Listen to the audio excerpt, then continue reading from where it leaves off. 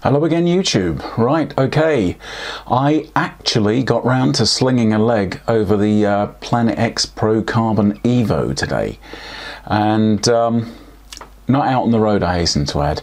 Uh, and apologies for this, you know, the road test has taken a little bit longer to put together. I've been stupid busy and it's been killing me because this thing's been sitting in my turbo room. And I just haven't had a chance to ride it, but I really wanted to put that right um, and definitely wanted to start getting some thoughts out there on YouTube about what this thing is like. So today I thought, right, I'm going to do setup because I'm riding it probably tomorrow morning early uh, with a friend. So I thought I'll do the setup today. Now, there seems to have been quite a bit of interest about sizing and um, you, know I think there was one comment in the um, the kind of box unbox and build video where somebody said, you know, I'd be really interested to see what you look like on it. So I thought, well, okay, why don't I do this road test in two parts really? I'll do like the initial setup, so bike in a turbo, me on the bike, okay, first time I've spun a pedal on it, what I think of it, what it feels like frame, frame wise and what have you. Uh, and then I'll do a proper on-road road test, which I'll do tomorrow.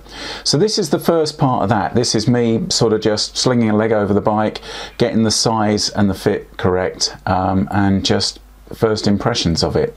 I thought it would be better to do this bit on the turbo because you'll probably get a better view of actually what I look like on the bike than if I give my one of my mates a GoPro and say, yeah, you know, follow me and, and take some video. Or sling a GoPro down by the side of the road where you just get me sort of fly past. Well fly past I say fly past. Uh, in my head it's flying but uh, anyway. So that's an aside. So yeah basically what I've done is I've done a setup on the bike. Now I'm 186 centimeters, about 100 kilos, uh, give or take, and um, you can use that hopefully as a, a guide. I bought a size XL frame.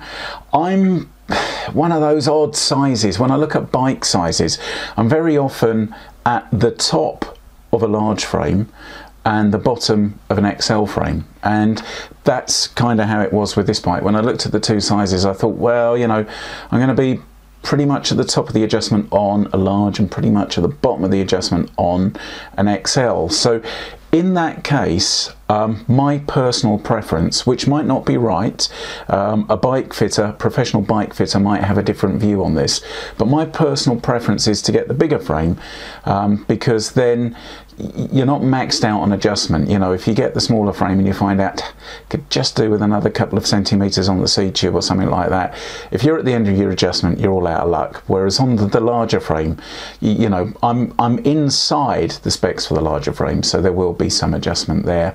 And you can always do things like, I'll give an example straight out of the box. Look to this bike. It's got a really long stem on it, like I think it's 120 mil stem.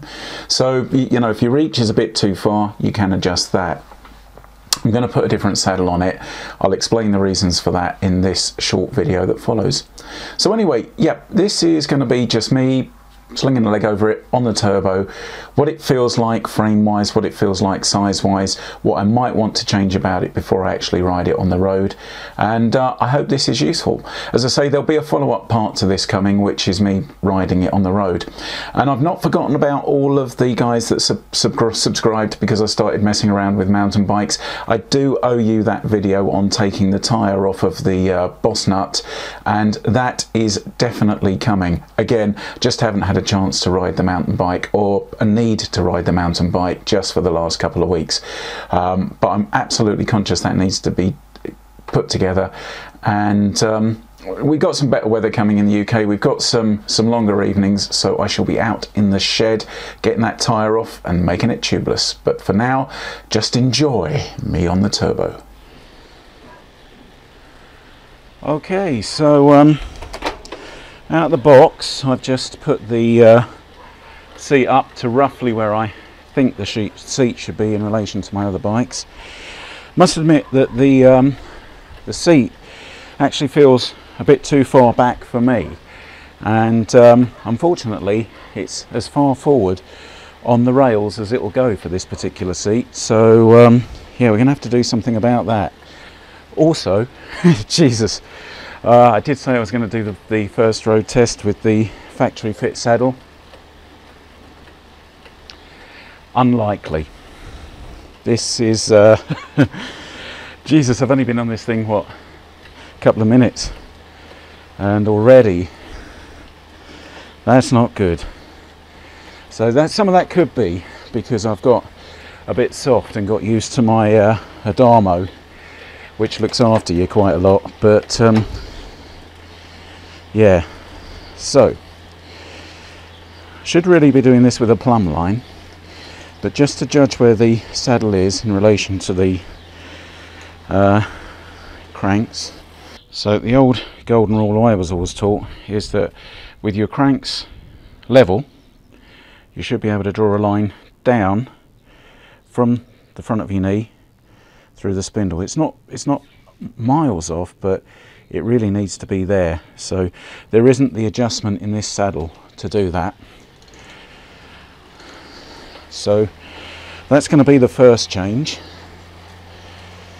It does feel um, a very long laid out frame. I've been riding a Trek Domane up until now and that's uh, that's very much a comfort geometry uh, compared to this you know this thing is meant to be a little bit racier by design and you can tell it's got that sort of very flat top tube none of that compact geometry stuff going on. So um, it does feel a very long frame. Now how this would feel on a large not really sure because uh, obviously the, the top tube is going to be shorter, so that would affect obviously where the saddle is, might affect that adjustment there. But uh, I think there's two things I'm going to do before I ride this on the road properly. One, I'm going to put that Adamo saddle on because this really is uncomfortable actually. You know, I'm a big lad, come on. But um, yeah, it ain't good so that's going to be the first change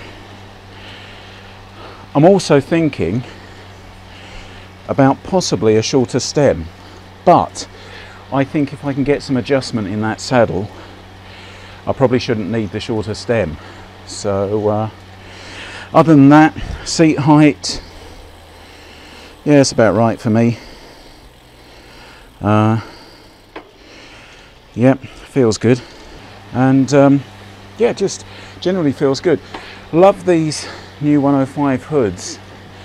They're really they're a lot longer than the old 105 so they feel really comfortable I might also consider a double wrapper bar tape on this because uh, these bars aren't very thick and I've got big old hands and uh, I just like like to get hold of something.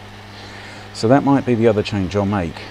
But um, no, I mean out of the box, it it does feel a more focused geometry than I've been riding. I was expecting that, and it's not unwelcome. I mean, definitely down on the drops, you can feel that as well.